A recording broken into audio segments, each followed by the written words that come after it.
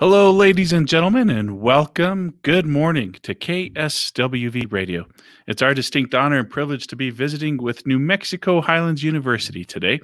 We're going to be visiting with Robert Anaya, who is the New Mexico Highlands University Santa Fe Center Manager, as well as Dr. Kimberly Blea, who is the Dean of Students at New Mexico Highlands University. Welcome to the both of you. Thank you, Esteban. Hello, thanks for having me on today.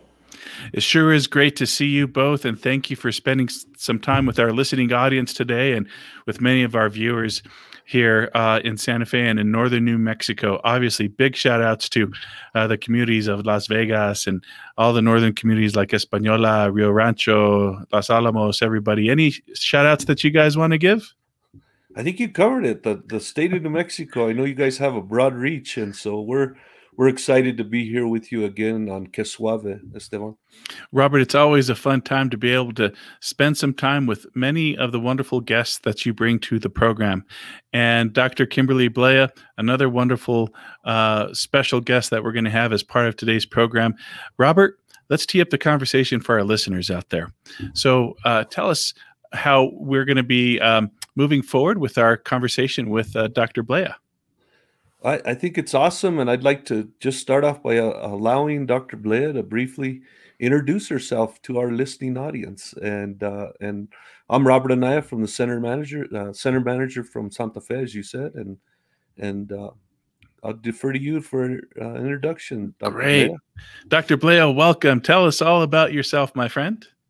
So thanks, Esteban, and thanks, Robert, for having me on today. Um, so I have the great privilege and honor of serving as the Dean of Students at New Mexico Highlands University, and um, that encompasses a lot. Um, the position that I hold is a position that is very important um, to the experience that our students have with Highlands, but on a more personal personal note, it's um, very important to me. I'm very honored and humbled to serve in this capacity. Um, and I really see it as a way, uh, being a Highlands graduate, I really see it as a way in which I'm able to um, be in service to um, the students, but also to the institution that has provided so much to me as well as to my family. You know, uh, Dr. Blea and Robert, if I may, it's always a, a source of pride for me when I see um, a Latina with the doctor in front of it. And it's something that is a special uh, recognition for my daughter to look at our leaders in the academic field. And Dr. Blea, uh, you know, your life's journey and what it means to not only to little Latinas like my daughter, but to many people out there. Um, can you just maybe share a little bit about your life's journey and to becoming Dr. Blea and and who who motivated you to you know strive uh, to do what you do? Uh, thank you, Esteban. So um, I, I, don't want to uh, bore you all with my whole life history, but I'll, I'll, give a little bit of context and background and really share with you my educational journey um, to, as you said, to inspire um, others um, who can relate and who can identify the way that I do to see the sense of possibility um, in themselves. I say this to all our students who are going on to professional and doctoral programs. I did it, so can you. Um, and so um, basically, um, I, I, grew up in Las Vegas. Uh, my family is actually from Ojo Feliz. It's about 40 minutes from Las Vegas um, in Mora County. Um, and um, I went to Robertson High School. I graduated from Robertson High School. And like many of our students locally say, Oh, I want to leave Las Vegas and I want to go to the big city. I want to get away. I need something different. And that's exactly what I did. Um, I originally left. Las Vegas and I went to Las Cruces and I enrolled as a first time freshman at New Mexico State. And I really, um, I, I, struggled being able to adapt into that large city, but a, a, a larger, you know, university.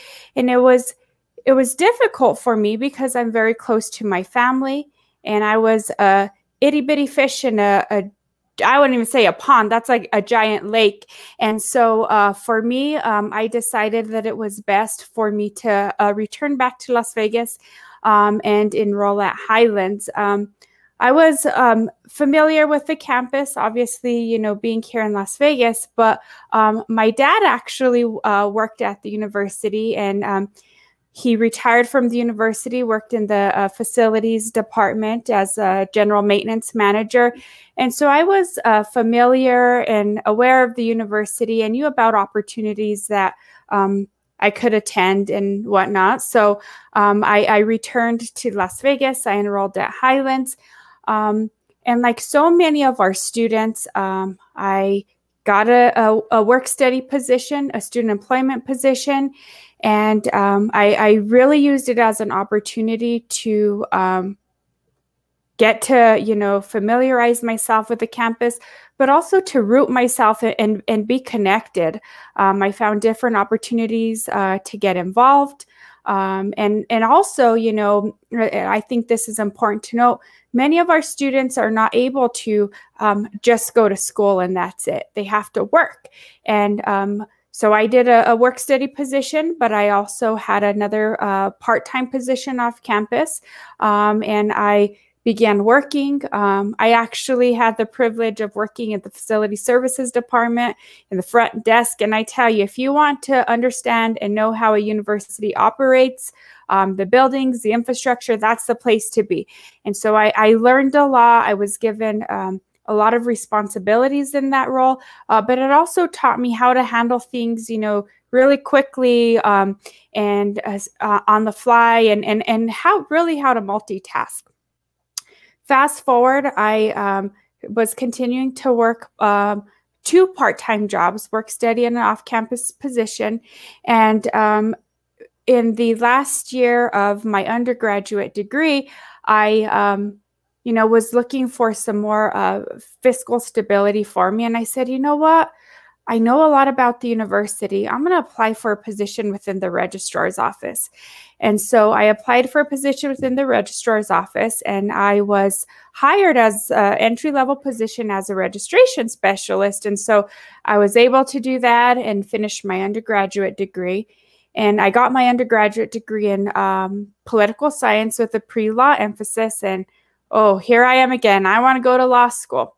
But being the type of person that I am, and I'm very, as I said, close to my family and needing that connection, I um, said, I'm only applying to UNM Law School because um, I can't move that far away.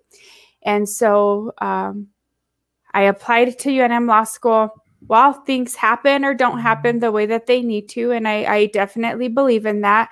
And so I was not admitted into um, law school. And I said, okay, here's an uh, opportunity for me. What can I do next? Because I was working at the university, um, I had the opportunity to uh, take classes through a tuition remission program. So I started my master's program right away, and um, I worked full time. I applied for another position within the registrar's office, in which I was um, working specifically and directly with our center students. And so it gave me that opportunity gave me the um, specific insight and perspective to understand how our center students um, experience their interactions with the main campus, uh, but also from an academic perspective and, you know, from the registration process to the um, completion of their degree. And so I worked specifically with the center students as well. And then from there, I moved on and um, was able to, um, I moved on and um, was able to continue my master's degree. I finished my master's degree in uh, public affairs with a concentration in applied sociology. And I did my master's thesis around, um, I did a program evaluation of a domestic violence service provider um, and looking at the cultural competencies and context in which they're providing services, uh, but specifically as it relates to uh, Nuevo Mexicano culture and, and, how they were providing programming. And so um, ar- around, you know, sometime after that, the university, um, a, a, faculty member, Dr. Arkadurkis, applied for a grant, a federal grant through the Office of uh, Violence Against Women through the Department of Justice uh, to start a campus advocacy program. And so um, mm-hmm. I applied and I was hired as the uh, founding director of the Campus Violence Prevention Program. And then throughout the years, I was able to um, write additional grants um, and expand our services to ensure that we were including our center students. Um, also, um, writing additional grants and having the opportunity to um, expand to provide substance abuse uh, prevention uh, for San Miguel County as a whole. While being the type of person that I am, I've always been one who wants to be challenged and um, both personally and professionally. And so, um, you know, I had been writing some grants and that was fun and exciting, but I wanted something more um, personally fulfilling. And so, um, looking at, you know, different um, doctoral programs that I wanted to do, um, I, I, I, explored a few, but the one that was of particular interest to me was the um, educational leadership program at the University of New Mexico. Um, and this is a really great program um, in particular because it brings together practitioners. So it's a, a, doctorate of education and it brings practitioners together who are in higher education but also K through 12. And so I, I applied to the position, uh, excuse me, I applied to the program and was accepted. And um, I can't tell you, I learned so much about the education system from, you know, pre K all the way uh, through higher education um, and learned a lot from my K through 12 colleagues. And so um, I, I, I, did that um, during the um, during the last year of my coursework in my program. I um, had I, I had the privilege. Um, my predecessor, Dr. Trujillo, as the dean of students, left the university, and our current president, President Minner, asked me if I would be interested in serving in an interim capacity as the dean of students, and I. Um, he, he he also said, "What when are you going to be done with your program? You know, what with your doctoral program?" And I say I say this all the time like a tonta, not knowing, you know, really what it takes. I said, okay, I have, you know, I'm finishing coursework one year to finish my dissertation.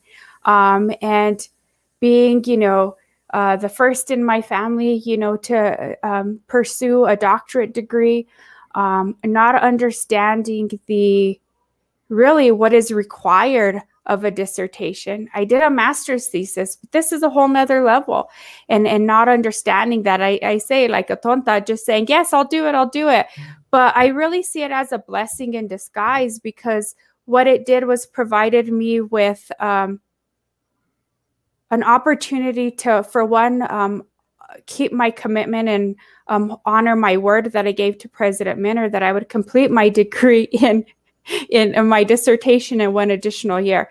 And um, as crazy and chaotic and as difficult and stressful as it was, I kept my word and I, I finished my um, uh, doctoral program um, within three years, believe it or not. And so um, it was tough, it was challenging. Um, I also have a husband, and at the time, my daughter was about 14 months old when I started my program.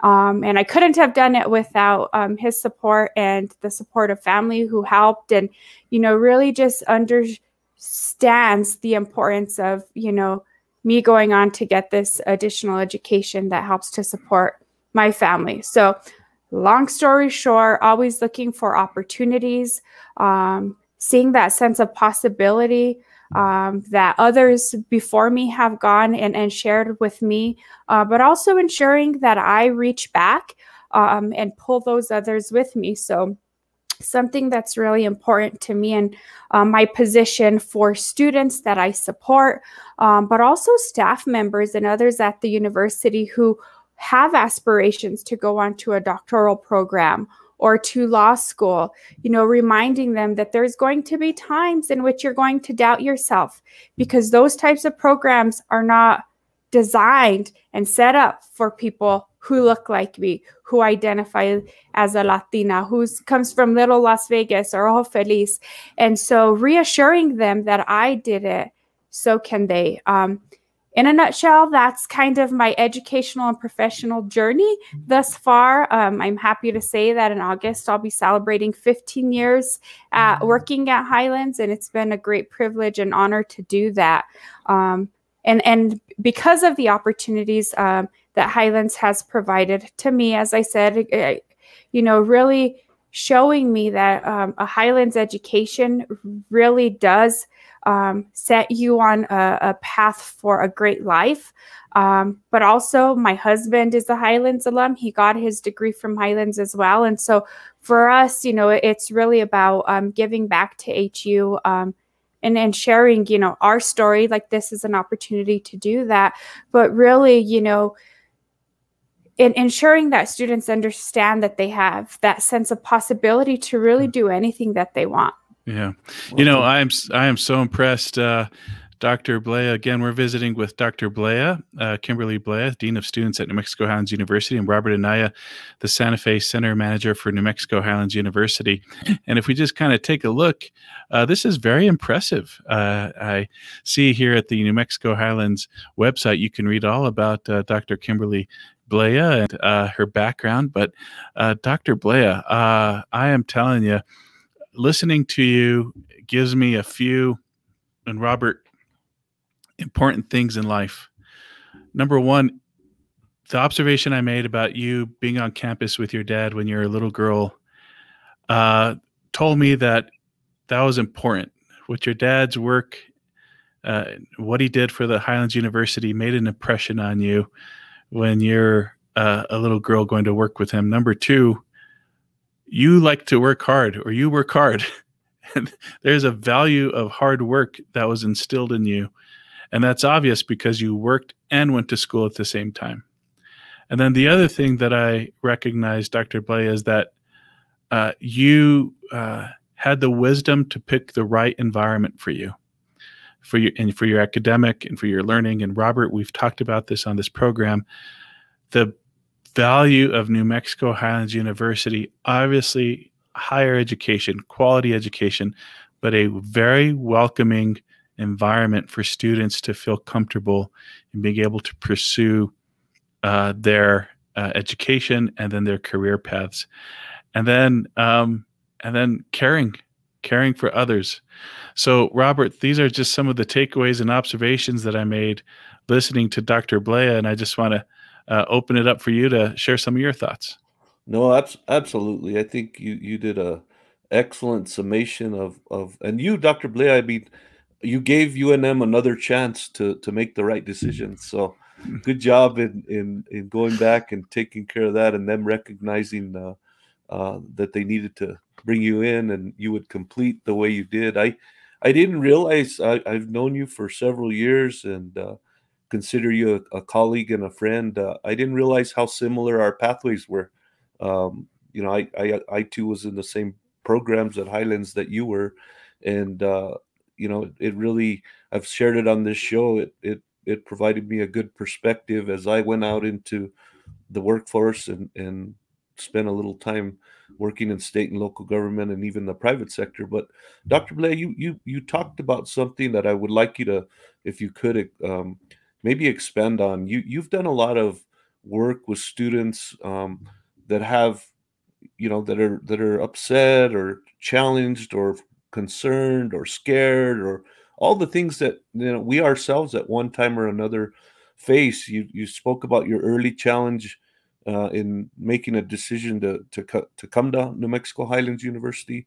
Uh, but can you speak a little more to what happens for those students? Because a lot of the people that we're we're talking to right now are uncertain, as as you know very well, and and are not sure. You know who who would they go to and what experiences might they encounter and how can they get the information they need can you can you get into a little more of, of who you went to and, and maybe not by person but by area and then kind of how we have wraparound services that that it can help people on that pathway and get them on that journey uh, where they want to go with their education so, um, absolutely, Robert. Thank you. And thank you, Esteban, um, for your summation of my experiences. I, I, I think you're on point. Uh, work ethic is definitely key to my success. And that was something that was instilled in me very early on in being able to um, observe and, and learn from my dad. Um, so, so thank you for recognizing that. Um, regarding um, kind of who or what what type of person I, I, guess i can't say in particular one particular person at hu um, because there's pockets of those people everywhere you just have to find your person. Um, we always say this, and it, it's it's not a, a, catchphrase at all, but we are the Highlands family. Uh, we really do uh, provide that uh, care and guidance and support to our students. And so I can speak to you know specifically for me in um, you know identifying who those people were um, when i was a student um, i recall uh, my uh, student um, uh, employment supervisor. Um, and Robert, you're going to get a kick out of this, but Priscilla Ortega Mathis, she was the um, she was the administrative assistant in the facility services department, and and she's still with the university, and now she's the um, executive administrative assistant for the provost. And so um, Priscilla uh, taught me early on um, a, a, lot of um, a lot of skills and um, it just just really you know how to be diplomatic and professional in in my work. Um, but also um, she was a and still is you know a, a, trusted person. And i think that's the key you know to emphasize you know i had also other people at the time i was involved in a student senate um, and our dean of students and vice president of student affairs at the time uh, judy uh, Cordova Romero um, really helped in um, providing that additional support. Um, it's really cool now. Yvonne Duran, she's the um, administ- she was at the time the administrative assistant to the dean of students and now she's my administrative assistant. So i had the privilege of you know having her as a trusted person when i was a student. And and now she's that uh, trusted person as my colleague and my assistant in my position now. And so you know really just um, emphasizing that there are um, different people that really serve to support students um, to help guide and, and navigate them um, navigate our students through whatever issues they might have. So, really, you know, in speaking to students, it's just finding who your person is at HU. Um, that may be Robert at the Santa Fe Center. Um, that may be Michelle Bencomo. She's our student relations coordinator. She's a great resource for students who may not otherwise have a specific person. She will help students get connected. Um, so I, I, think it's really a matter of identifying who that person is um, and it can be just building a relationship with them um, or it can be a, for a specific purpose if you have an issue or concern that you know you need some support with we definitely have um, great staff who really um, will work to um, provide guidance to our students um, so that that's what i would say mm-hmm. specifically about who those people are. Um, now, I don't know if you want me to elaborate, Robert, on um, kind of some of the different services that we offer for students. Uh, absolutely. I, before you do that, I just wanted to, say this uh, spot on with all your comments about how we put our arms around students and want to, you know, we want to help them with their success and and and find your own person. But the one thing that we have at Highlands University that's that that I think is is unique in in many ways is that we have students and faculty that come from all parts of the country and even the world, but we also have uh, students, faculty, staff, and administration that are that are actually from uh, a lot of New Mexico. So you could you can find a person that's from Ojo Feliz or Mora or Galisteo or Santa Fe or Española right there at the university that you could actually go speak with and talk to about their journey and their pathway and their experiences that you can relate to that's from back home. But yeah, by all means, uh, Dr. Blea, if you could really speak to the to the to the services we provide students and how those those services are extended not just to uh, on campus but but center students as well. Yes, absolutely. So um, I, I, I try to, you know, speak in um, in, in a comprehensive way. Um, I oversee um, many different departments and uh, services um, at Highlands, um, and some of those are um, actual physical spaces, you know, at the main campus. So I oversee all our um, residence halls. I oversee our outdoor recreation center, our fitness center, game room. Um, I oversee our swimming pool, um, I'm thinking of physical spaces. I also oversee um, our contract with El Centro Family Health, um, and they've been a, a partner with us for at least 20 years, even before they were at Centro Family Health. It was Health Centers of Northern New Mexico, um, and they provide services to our students, uh, both medical uh, services as well as behavioral health and counseling services. Um, and so I also oversee that, um, the student health clinic. Uh, I oversee our bookstore. Um, I oversee our um, advocacy center, which is HU Cares.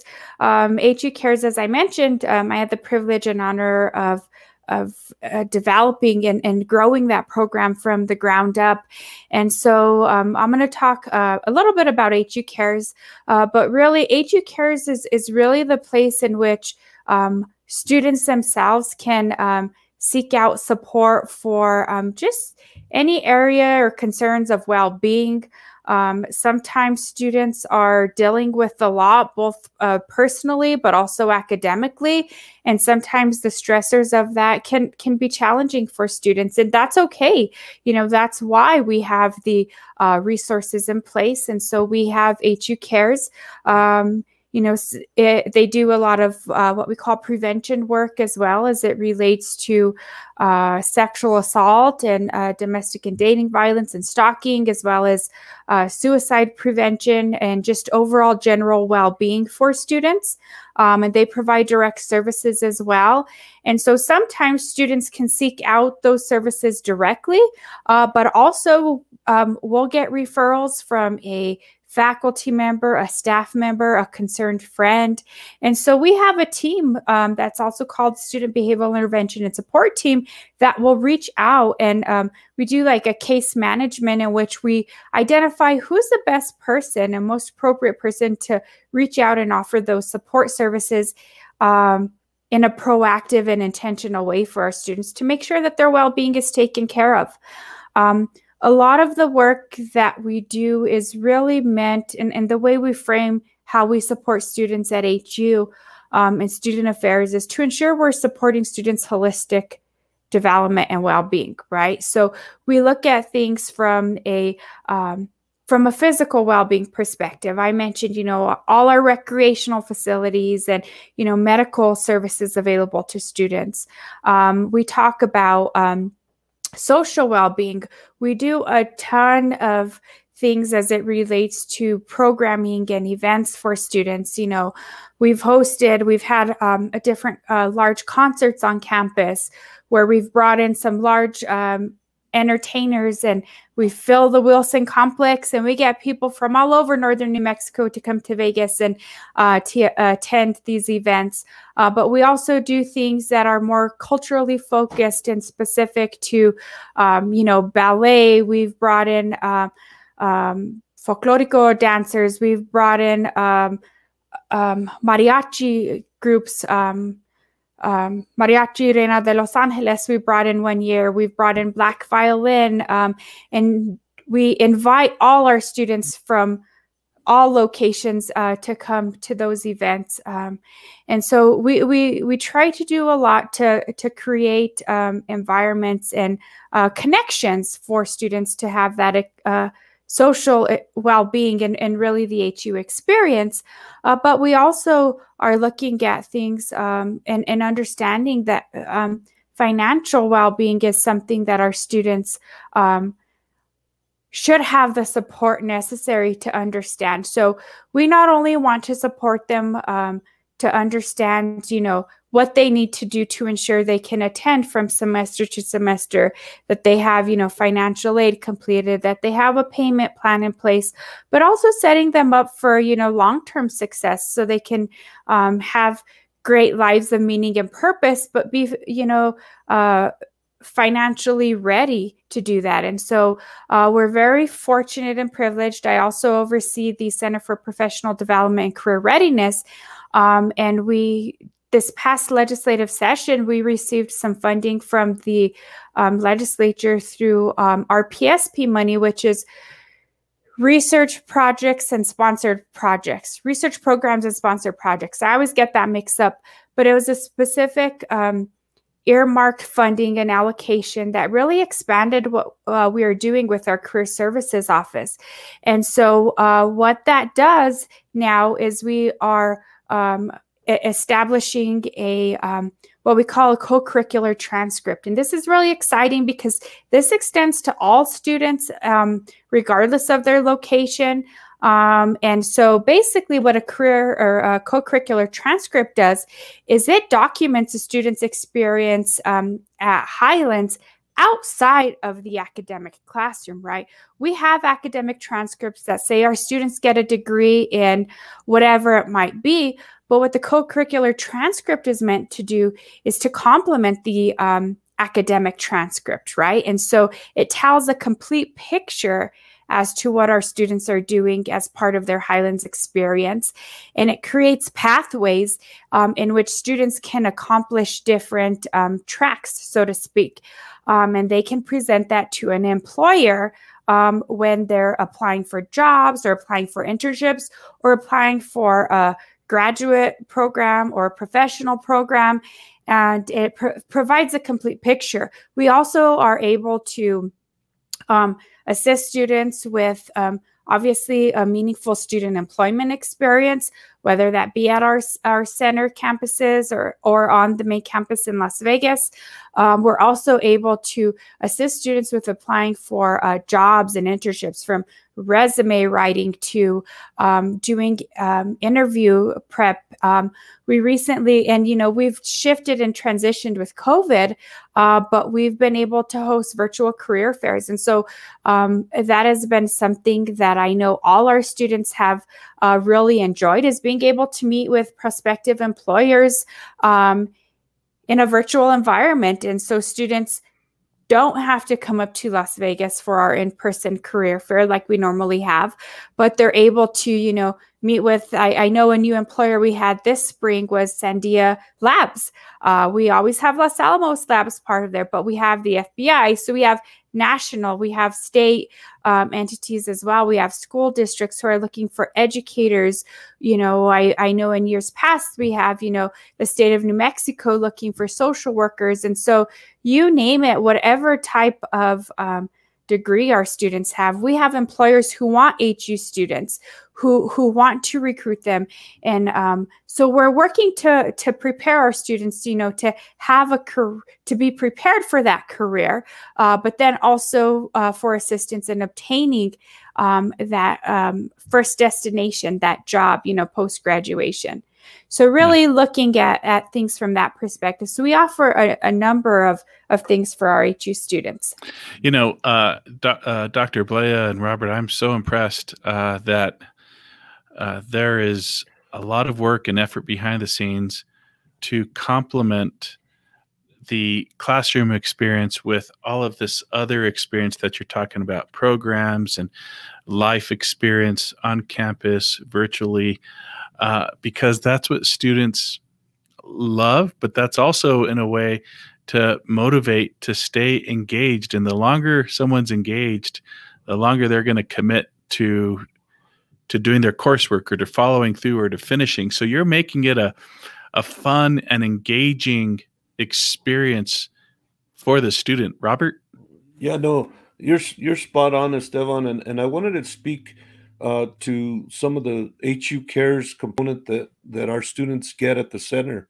Um, excuse me, Latasha Burbank and others have come to our center on a regular basis to speak to students about other challenges that they're facing that sometimes don't have anything to do with school at all, but maybe have to do with some of the personal behavioral challenges they're facing or needs that they might have, or frankly, they just want to talk.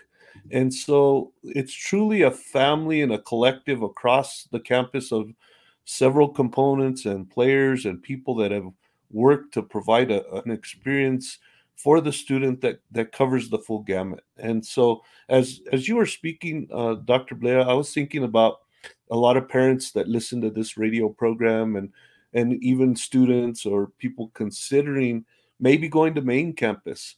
Um, uh, you guys will get there pretty quick here with with those youngsters that you have. But could you give some maybe feedback that can provide a little assurance to uh, the parents out there that might be listening and tell them a little bit about what that experience looks like or what they might expect moving into making the decision of even going to the campus for a campus visit and and what what the uh, the the life is like in the as a as a resident on campus uh, a lot of times we we don't talk as much about that experience. And it'd be nice if you could share with those parents and potential students kind of what they would do and kind of what it looks like once they would get to highlands or thinking about those decisions that they're going to make to to maybe go to highlands university at, at main campus.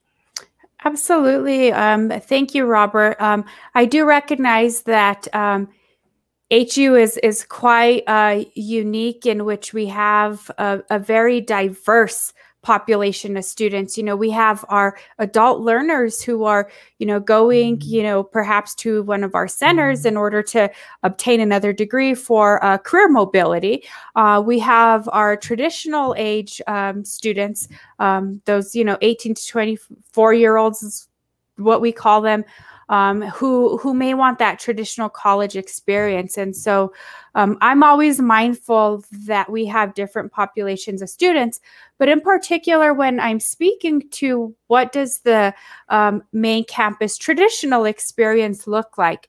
Um, so We've done a lot um, in in my time as the dean of students uh, to really ensure that um, students that come to Highlands to live on campus or live locally in Las Vegas, but who really want to experience a, a traditional college um, experience, have all the opportunity to, to do that.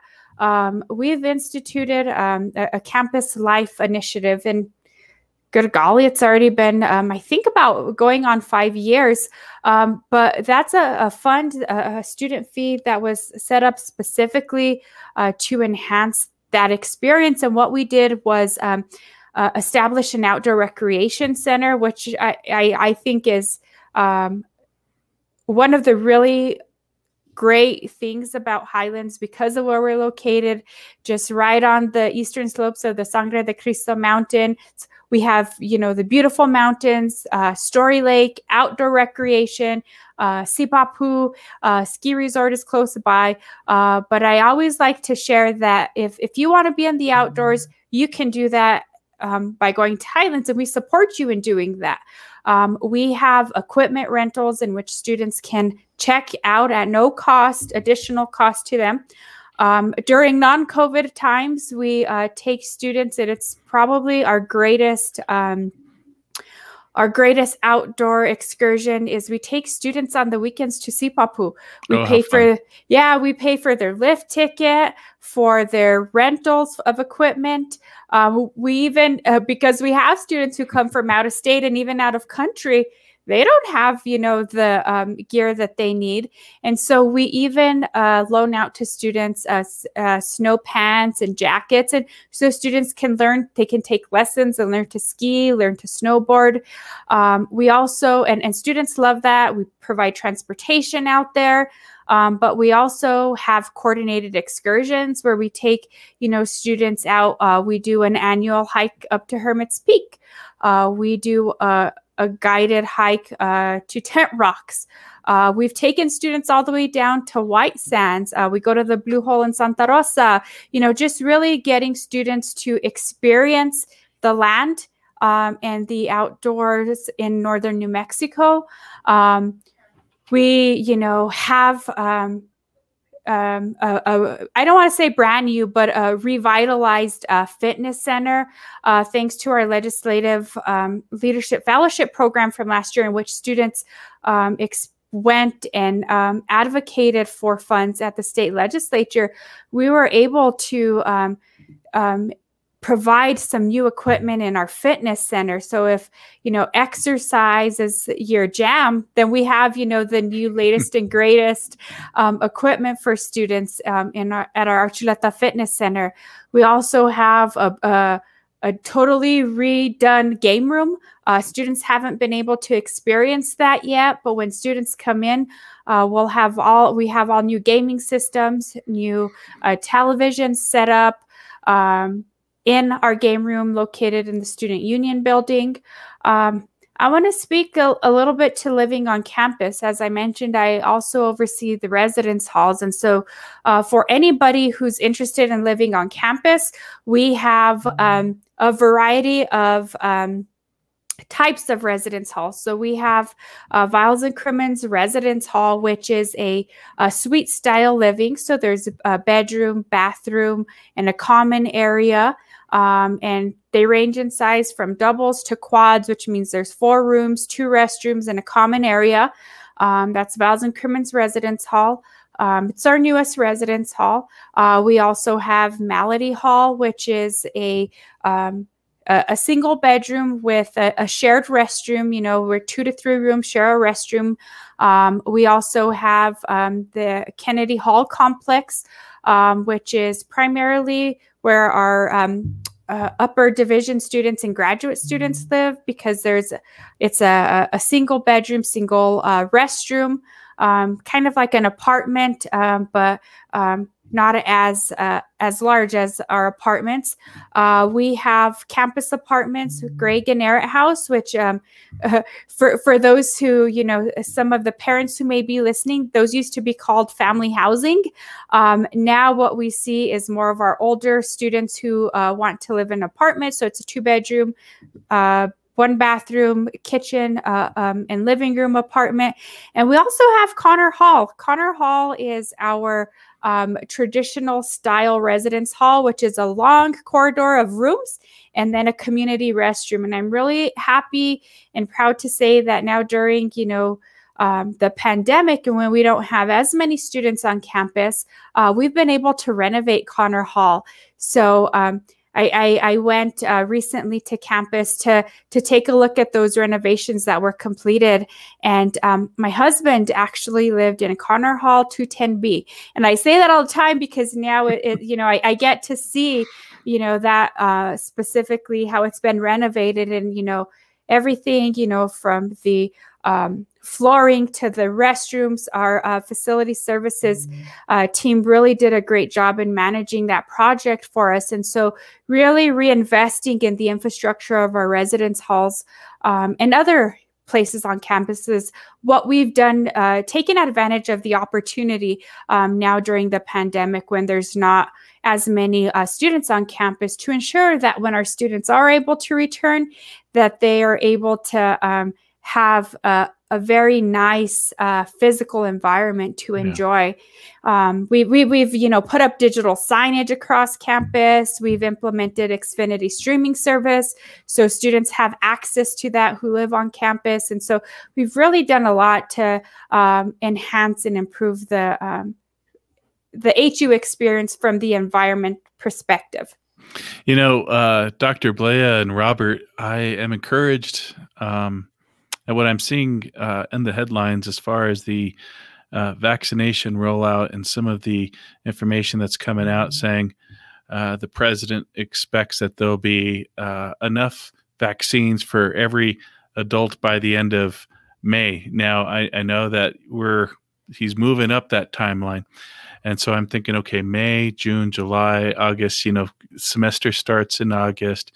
But whether it give or take a month, um, and they're even talking about starting to roll out the Johnson and Johnson vaccine for children less than 18 years of age by September.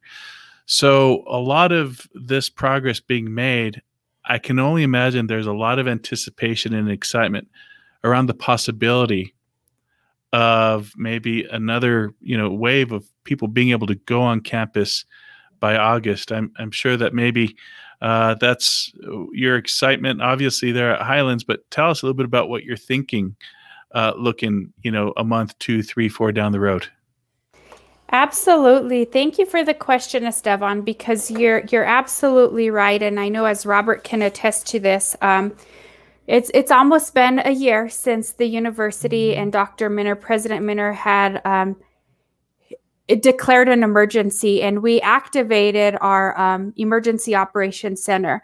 Um, I think this is helpful for, for people to um, understand um, our preparedness level at HU. So um, we've been operating under the incident command structure, and our emergency operations center um, has been activated almost a year. So every um, decision, every response that we've had, everything we've done from a planning perspective has been coordinated in a way to ensure that all of the individuals um, are voices are being heard, represented, and considered. Um, and, and we meet multiple times a week um, everything for, you know from we have a medical branch that's looking at you know our response to positive cases or our uh, testing components or the vaccination rollout. Every everything from that perspective is um, always considered. We have another team that's looking at it from the academic perspective and um, that's led by one of our academic deans and we have faculty members who are part of our team as well. And so looking at it from that perspective Um, we, you know, we have, you know, human resources um, on board. So looking at it from the employee perspective. Um, I say all of this because um, we're having the conversations about what does the future look like, right? And so I, I feel very confidently that because we have been operating um, in a very coordinated way, um, we anticipate being able to go back to in-person learning in the fall.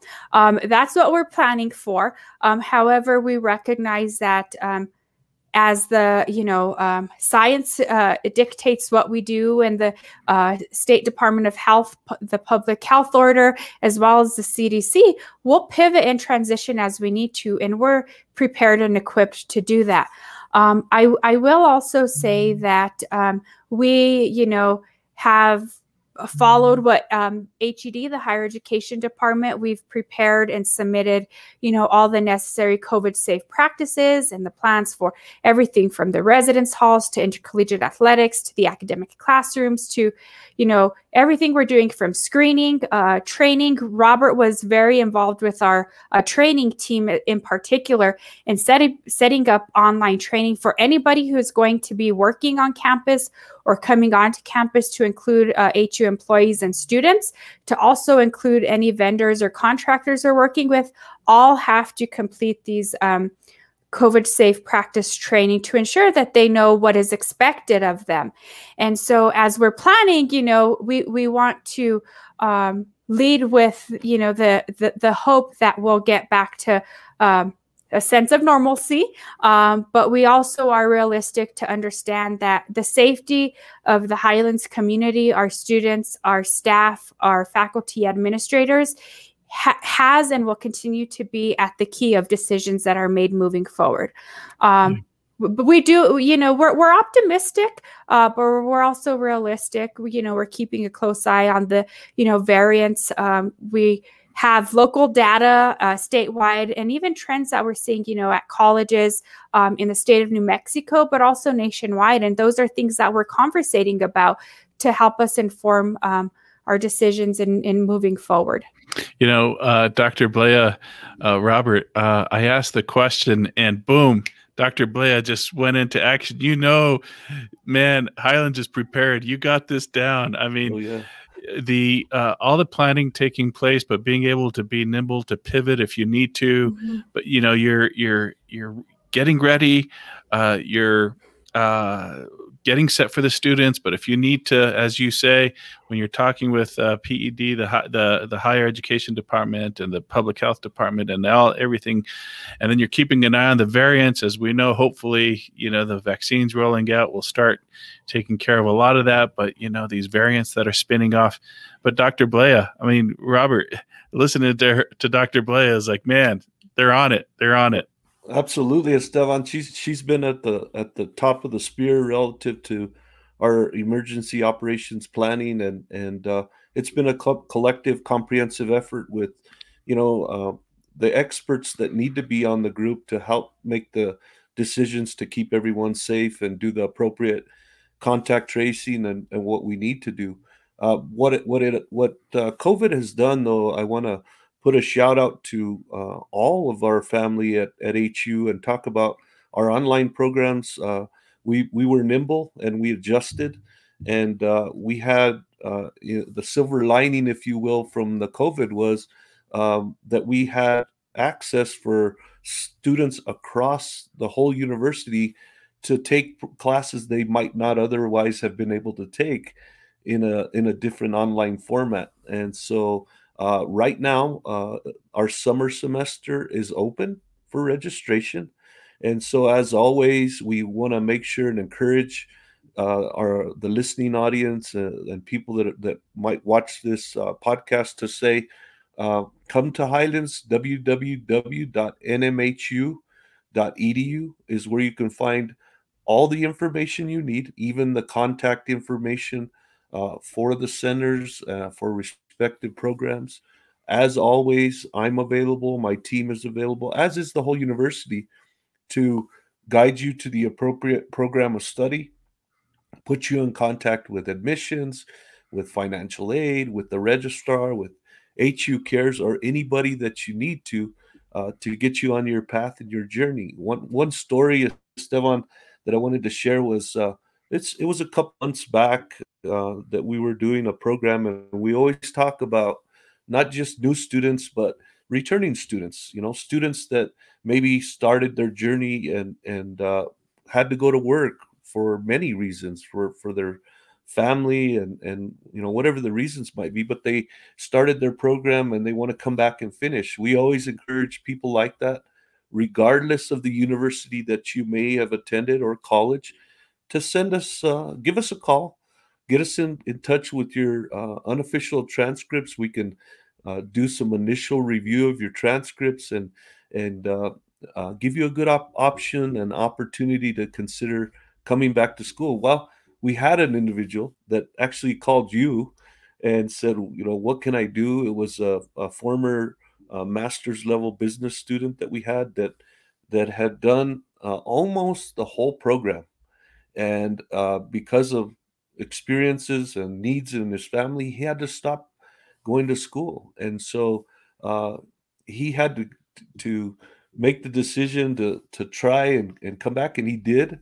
And I'm happy to say he worked closely with our uh, numerous people, including people from the center, but our new dean of the School of Business and many others. And I can, you know, tell you, you know, you know we're excited. He's on a pathway to finish up uh, his master's degree and, and on a pathway to get currency on some of those classes that that were older that he needed. But uh, just an example of we're here. You know, we're here to get that information. We're here to give you an assessment of of what we think we have available to you. And like we've said on prior programs, if if our pathway isn't the best for you, but we can help you link to another school or another university, we're okay with that too, right? We, we our game is to make you put you in the best possible position you can to to succeed and and continue and finish that pathway. So, um, but right now, summer registration's on.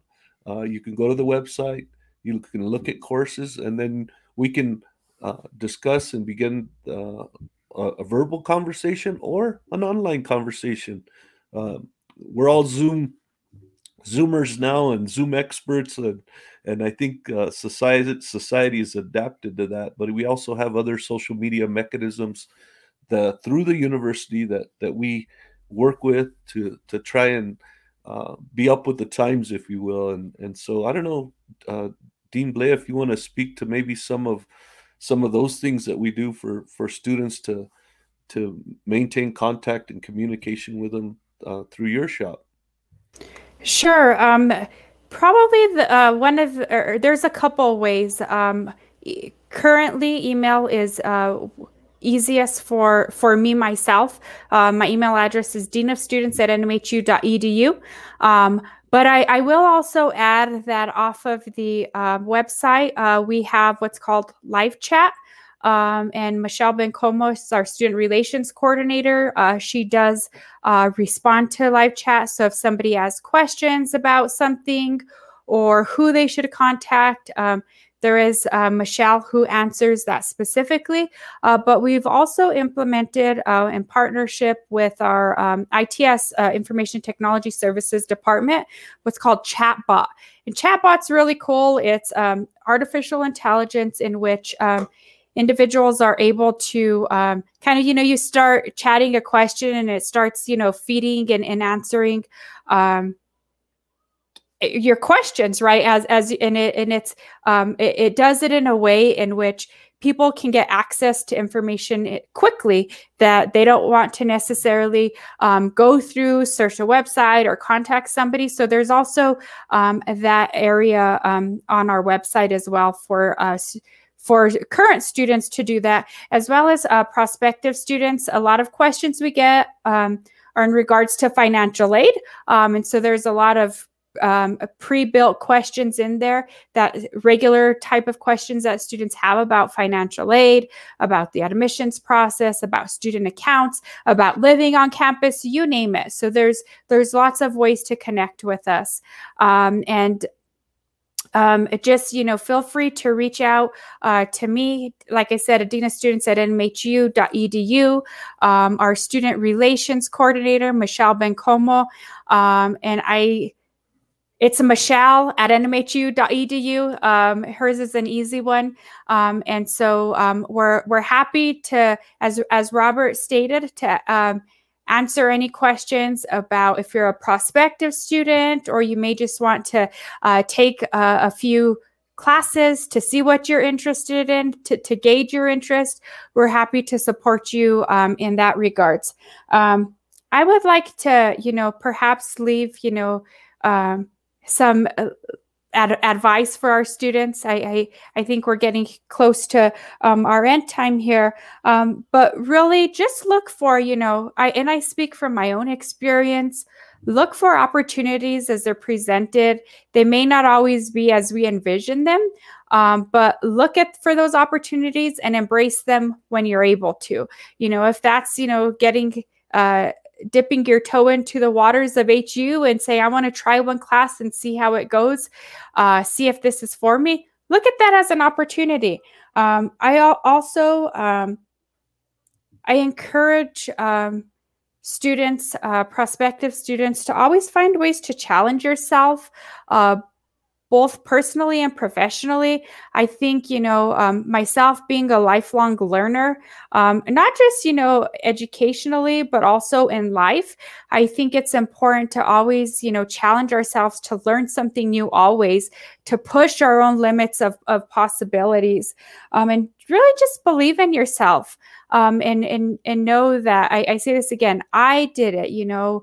Um, you can do it. Robert's done it. We have tons of these examples. Um, higher education is not beyond your reach. There's um, a lot of um, people at HU who care, the Highlands family, and, and really want to um, really want to support, you know, all our students, but in particular our students of Northern New Mexico, um, to get that education because we recognize that, and, and, I speak from my own personal experience, that Highlands truly uh, transforms lives for generations to come. My children's lives are going to be different because of the Highlands education that my husband and I received. And I know numerous stories of, of the Highlands story and, and how that's um, happened. Um, and just, you know, really see the sense of possibility in yourself. We see it in you. We want you to believe it as well. So thank you well, so much. Thank you so much, Dr. Blea and Robert. We have uh, had a wonderful morning with you. Uh, lots of information, a wealth of information for our listening audience and for students, prospective students out there. I see our time is about up, but final thoughts, Robert, and then we'll uh, move over to uh, Dr. Blea. No, I think Dr. Blea, you did a great job encapsulating uh, what we do at Highlands. Uh, here, here, good, good work, and congratulations to you and your family for all of your achievements and the work you do for uh, center and campus students, campus wide. And so uh, we appreciate you. Um, my email r a anaya at nmhu.edu and my phone number 505 426 2130. Uh, go to the website www.nmhu.edu Check us out. We'll do everything we can to help you uh, with uh, getting on your path and your journey to completion of whatever program of study uh, you have your interest in. So thank you so much. And thanks to KSWV. I, I would do a shout out to our former border regent and former mayor of the city of Santa Fe. He, he was one of the individuals, uh, uh, Mayor Gonzales, that that actually helped Viles and and uh, Viles and Crimen is that uh, Crimen Doc, Crimen Viles yep. and Crimen get off the ground and get constructed. He was he was the chair of the board of regents uh, that kind of worked on that initiative. So shout out to him for those efforts. But uh, th- thanks to you, Esteban, and your team as well. Thank you so much. I really appreciate that, Dr. Blea and Robert Anaya. We really appreciate you and everything that you guys are doing, everything that New Mexico Highlands University is doing, all the faculty and staff, and we're just getting really excited, and we're hoping that the trend continues uh, with this progress being made in the pandemic, so that we can get to campus uh, very, very uh, quickly and soon. Uh, but in the meantime, God bless you and your families and keep you safe. And thanks for being with our listening audience today. Thank you. Thank you, Esteban. Thank you, guys. Have a good day.